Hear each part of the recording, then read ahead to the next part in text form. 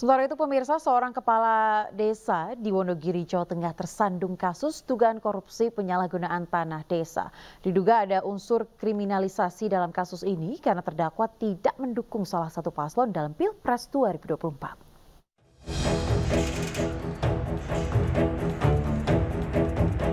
Kepala Desa Manjung Kabupaten Wonogiri Hartono didakwa oleh jaksa penuntut umum melakukan tindak pidana korupsi karena telah menyalahgunakan pemanfaatan tanah desa. Atas perbuatan terdakwa, negara mengalami kerugian lebih dari 300 juta rupiah.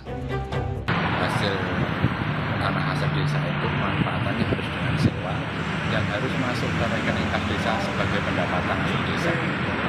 Itu seperti itu ketentuannya di Permendagri nomor 1 tahun 2016 itu tapi pada kenyataannya ini dimanfaatkan namun manfaatannya itu tidak masuk ke rekening kas desa sebagai TADIS. Sementara itu kuasa hukum terdakwa menilai bahwa kasus korupsi kliennya syarat muatan politis.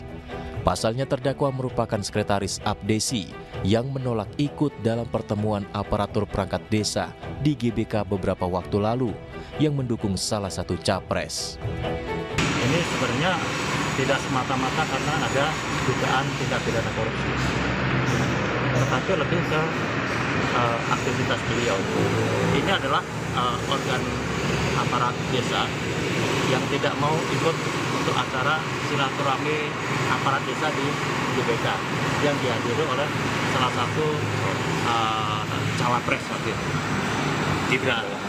Ya ya saudara tahu kan pada November 2023 lalu, Polda Jawa Tengah memanggil sejumlah kepala desa di tiga wilayah, yakni Wonogiri, Karanganyar, dan Klaten.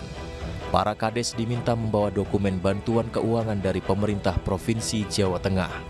Namun pemanggilan para kepala desa meresahkan karena dikaitkan dengan sikap para kades yang tidak mendukung salah satu pasangan capres-cawapres dan memilih bersikap netral. Tim Liputan iNews melaporkan.